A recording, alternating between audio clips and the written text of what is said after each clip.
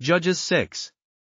The Israelites did evil in the eyes of the Lord, and for seven years he gave them into the hands of the Midianites. Because the power of Midian was so oppressive, the Israelites prepared shelters for themselves in mountain clefts, caves, and strongholds. Whenever the Israelites planted their crops, the Midianites, Amalekites, and other eastern peoples invaded the country. They camped on the land and ruined the crops all the way to Gaza and did not spare a living thing for Israel, neither sheep, nor cattle, nor donkeys. They came up with their livestock and their tents like swarms of locusts. It was impossible to count them or their camels, they invaded the land to ravage it. Midian so impoverished the Israelites that they cried out to the Lord for help. When the Israelites cried out to the Lord because of Midian, he sent them a prophet, who said, This is what the Lord, the God of Israel, says I brought you up out of Egypt, out of the land of slavery. I rescued you from the hand of the Egyptians. And I delivered you from the hand of all your oppressors, I drove them out before you and gave you their land. I said to you, I am the Lord your God, do not worship the gods of the Amorites, in whose land you live. But you have not listened to me. The angel of the Lord came and sat down under the oak in Ophrah that belonged to Joash the Abiezrite, where his son Gideon was threshing wheat in a winepress to keep it from the Midianites. When the angel of the Lord appeared to Gideon, he said, The Lord is with you, mighty warrior. Pardon me, my lord, Gideon replied, but if the Lord is with us, why has all this happened to us? Where are all his wonders that our ancestors told us about when they said, Did not the Lord bring us up out of Egypt? But now the Lord has abandoned us and given us into the hand of Midian. The Lord turned to him and said, Go in the strength you have and save Israel out of Midian's hand. Am I not sending you?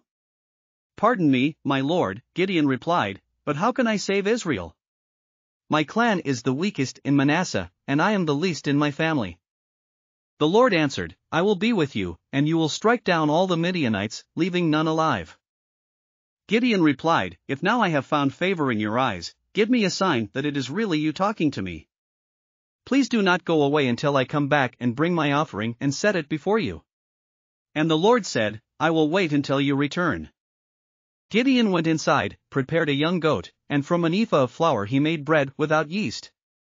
Putting the meat in a basket and its broth in a pot, he brought them out and offered them to him under the oak.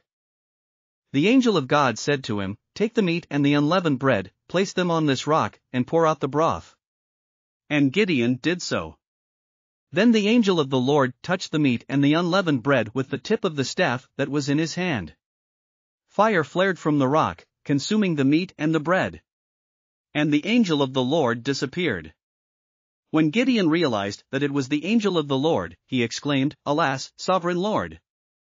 I have seen the angel of the Lord face to face. But the Lord said to him, Peace. Do not be afraid. You are not going to die. So Gideon built an altar to the Lord there and called it the Lord is Peace. To this day it stands in Ophrah of the Abiezrites. That same night the Lord said to him, Take the second bull from your father's herd, the one seven years old. Tear down your father's altar to Baal and cut down the Asherah pole beside it. Then build a proper kind of altar to the Lord your God on the top of this height. Using the wood of the Asherah pole that you cut down, offer the second bull as a burnt offering. So Gideon took ten of his servants and did as the Lord told him.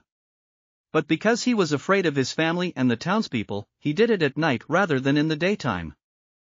In the morning, when the people of the town got up, there was Baal's altar, demolished, with the Asherah pole beside it cut down and the second bull sacrificed on the newly built altar.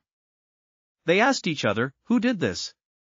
When they carefully investigated, they were told, Gideon son of Joash did it. The people of the town demanded of Joash, Bring out your son. He must die, because he has broken down Baal's altar and cut down the Asherah pole beside it.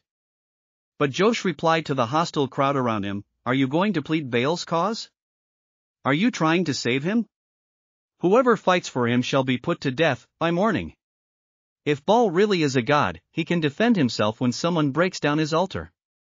So because Gideon broke down Baal's altar, they gave him the name Jerubbaal that day, saying, Let Baal contend with him. Now all the Midianites, Amalekites, and other eastern peoples joined forces and crossed over the Jordan and camped in the valley of Jezreel. Then the Spirit of the Lord came on Gideon, and he blew a trumpet, summoning the Abiezrites to follow him. He sent messengers throughout Manasseh, calling them to arms, and also into Asher, Zebulun, and Naphtali, so that they too went up to meet them. Gideon said to God, If you will save Israel by my hand as you have promised. Look, I will place a wool fleece on the threshing floor. If there is dew only on the fleece and all the ground is dry, then I will know that you will save Israel by my hand, as you said. And that is what happened. Gideon rose early the next day, he squeezed the fleece and wrung out the dew a bowlful of water. Then Gideon said to God, Do not be angry with me. Let me make just one more request. Allow me one more test with the fleece, but this time make the fleece dry and let the ground be covered with dew. That night God did so. Only the fleece was dry, all the ground was covered with dew. Thanks for listening to another chapter of the Bible. At My Faith Fuel, we believe a good coffee fuels your faith and energizes your day. Please visit myfaithfuel.com to explore our delicious coffee blends. Part of each purchase goes to training worshippers around the world. Thanks for listening.